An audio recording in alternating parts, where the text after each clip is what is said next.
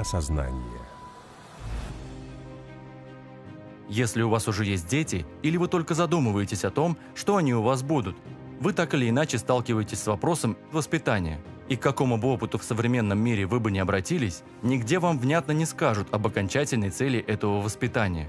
Вот, например, в школе ребенка обучают, чтобы подготовить к институту, а в институте – к работе по профессии. По крайней мере, такие цели декларируются.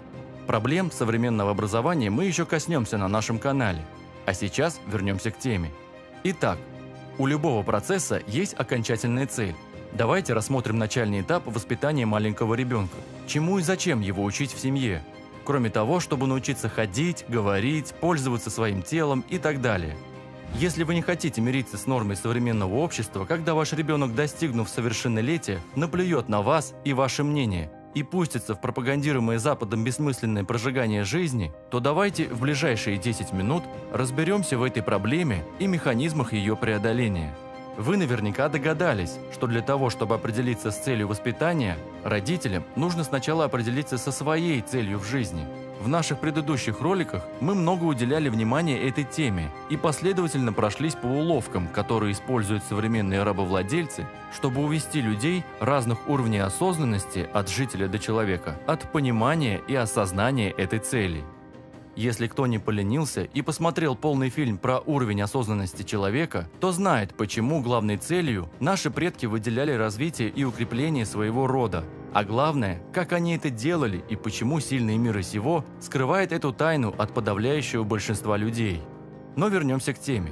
Учитывая желание вышеуказанных хозяев системы скрыть самую важную в вашей жизни информацию, вам везде во всех учебниках и практиках по воспитанию будут декларировать примерно следующие цели воспитания – становление личности и формирование человека, его социализация, подготовка к жизни в обществе, всестороннее развитие и так далее, далее и далее, где результатом является полезность человека как винтика в механизме той же системы глобального управления. На бытовом уровне вам предлагается подготовить ребенка к школе, воспитать в нем прилежность, усидчивость и тому подобное. И никто, удивительное дело, в большинстве случаев не касается темы, как научить ребенка именно семейной, а не только общественной жизни. Как ему затем успешно построить свою семью, как совместно, опираясь на таких детей и их семьи, вам в конце концов создать такие же мощные рода, какие были у наших предков и есть сегодня у тех, кто в нашем мире правит. Заметили, что реальная эффективная цель сегодня размывается за общими словами об общественной полезности? Понятно, что в каждой семье и в каждой конкретной ситуации много деталей – но основные принципы воспитания ребенка на начальном этапе всегда просты по сути своей. И сейчас мы разберем четыре базовых принципа из личного опыта отца шестерых детей и педагога Константина Яшкова, что позволит вам адаптировать их под свои условия. А вашей семье достигнуть реального успеха на протяжении жизни не одного, а многих ее поколений. Итак, первый принцип. Настоящее родовое воспитание начинается до рождения ребенка. Если вы помните, да, то ребенок это такие повторюшники. То есть они вот увидели, да, и тут же повторяют, увидели и тут же повторяют. И повторяют постоянно то, что им очень понравилось. Вот очень важно понимать родителям, что воспитание начинается именно с них. То есть к моменту воспитательного процесса вы уже, у вас уже выработаны определенные отношения, вы уже выработали свои взаимодействия, вы знаете, кто чем занимается, кто как друг с другом ведет и так далее. И очень важно что происходит с ней? Вы не сквернословите. Вы никогда не повышаете друг на друга голос. Вы не кричите. Вы не ругаетесь. Вы выстроили так свои отношения, что мужчина – это глава семьи. Женщина – это исполнительница воли главы семьи. И когда это выйдет в вас в привычку, когда это войдет в положительные отношения, тогда ребенку будет очень просто – выставить требования, потребовать от него исполнения тех или иных действий. И тогда мальчики, рожденные в семье, они будут стремиться стать отцом. То есть для них отец будет примером, потому что каждый мальчик будет хотеть быть похожим на отца для того, чтобы тоже занять когда-то такое же положение, как отец. А каждая девочка в семье, глядя на то, как мама ухаживает за папой, за детьми и получает в это взамен любовь, заботу, защиту, ласку, она будет стремиться стать мамой и тоже будет проявлять свои женские качества. Она будет стремиться стать такой мамой, какую она видит. Вот, э, к примеру, в моей семье, да, у меня сейчас маленькая дочка подрастает, ей э, сейчас э, три с небольшим годика, да, она ставит мне на стол тарелку, она меня кормит, ну, правда, с ложечки пока, как маленького кормит, потому что она это видела, да, ну, как бы она меня кормит, она заботится, она братьям носит а, какие-то гостинцы, там, печеньки, булочки и так далее. Она предпочитает это делать сама, потому что это всегда делает мама. И, естественно, мы этот процесс поощряем. Принцип второй. Поощряйте в ребенке то, что ведет к поставленной вами цели и необходимому результату. Конечно, в процессе воспитания вы будете вынуждены э, проявлять волевое усилие по отношению к ребенку, чтобы он выполнил те или иные требования. Ну, допустим, ребенку нужно заниматься физически, он не хочет, он хочет играть, значит, вы должны выставить так, выстроить так отношения, чтобы ребенок вас послушал. Вот я со своим старшим сыном выстроил такие отношения. То есть, э, конечно, он увлечен был компьютером, как и все дети того возраста. И я понимал, что если я сейчас буду запрещать ему э, играть в компьютер, то э, запретный плод сладок, и где-то он все равно это найдет. Но мне нужна была альтернатива. И тогда таким образом мы с ним поступили. Я говорю, хорошо, я тебе даю полчаса, ты играешь в компьютере, но перед этим полчаса ты занимаешься физическими упражнениями. Мы выбили, выбрали ему комплекс, и чтобы посидеть полчаса за компьютером, он полчаса выполнял физические упражнения. Отжимания, подтягивания, пресс, приседания и так далее. Вот он сделал полчаса этот комплекс, да, сел за компьютер, полчаса поиграл. Надо еще полчаса поиграть. Он раз еще комплекс сделал, еще полчаса поиграл. Потом третий раз комплекс сделал и подумал, да ну его этот компьютер. И, и в таком формате он принял решение, что он лучше, если ему надо, он там полчаса посидит, и этого хватит. И мы с ним, организовав этот процесс, в итоге этот процесс привел к результату. Каким результатом? Первый результат – это то, что у него не сформировалось желание сидеть за компьютером. И второй результат – то, что он повысил свою физическую форму.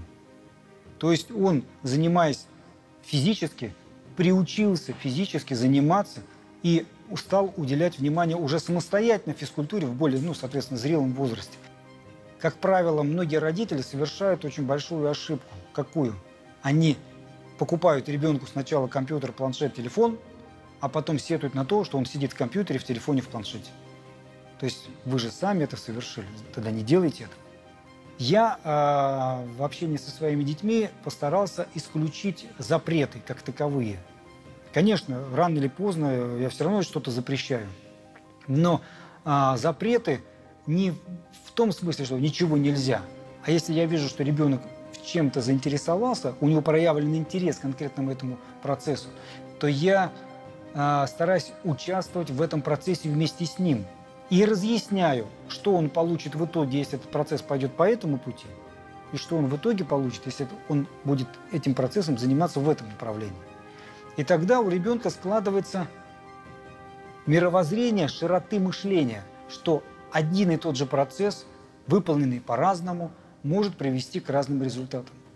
Принцип третий. Если вы хотите воспитать своего ребенка качественно, вам нужно прислушиваться к его индивидуальности.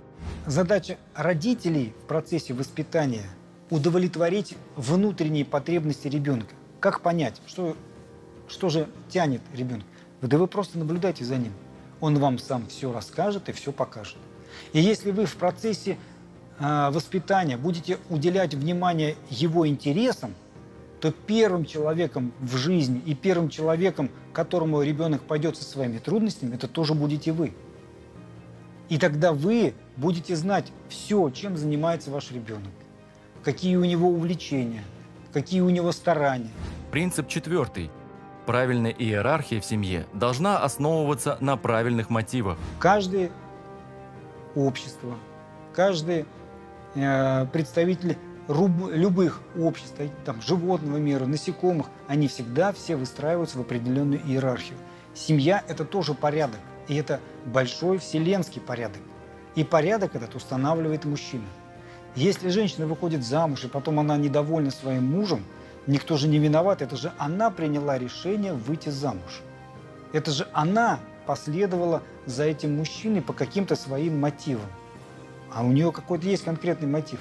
И вот если этот мотив корыстный, то есть получение материальных благ от этого мужчины, то тогда, конечно, при это, это решение приведет к страданиям. Потому что, ну, не всегда же бывает постоянно много материальных благ. Бывает так, что сейчас блага, а потом не очень блага. А вот если женщина принимает решение следовать за мужчиной, и это единственная ее цель, то тогда все, что с ней будет происходить в этой семье, будет приносить ей счастье. Потому что главная цель ей очевидна, понятна и достижима. Она просто следует за этим мужчиной. И это очень важный процесс для понимания. Сегодня каждый может внедрить в свою семью эти простые принципы, основанные на мудрости наших предков, как никогда актуальный в современном мире, что доказывает нам опыт самых богатых и влиятельных семей планеты. Конечно, это сложный, многолетний и многоступенчатый процесс, и в рамках этого ролика всего не скажешь. И если вы действительно заинтересованы в том, чтобы начать строить свой род и подробнее разобраться в этом процессе, то не поленитесь пройти по ссылке в описании ролика и посмотреть полный курс Константина Яшкова в первом познавательном онлайн-кинотеатре «Славянский мир», по подписке на который доступны еще десятки других полезных материалов по этой теме. А информация от человека с личным опытом создания большой счастливой семьи бесценна по сравнению с теоретическими знаниями современных пособий. Мы желаем добра и развития вашим семьям. Распространяйте это видео, если оно вам понравилось. Давайте постараемся, чтобы его увидело как можно больше людей, задумывающихся об этой проблеме. Подписывайтесь на наш канал, впереди еще много интересного и важного. И помните, что в жизни случается всякое, пока не случается осознание.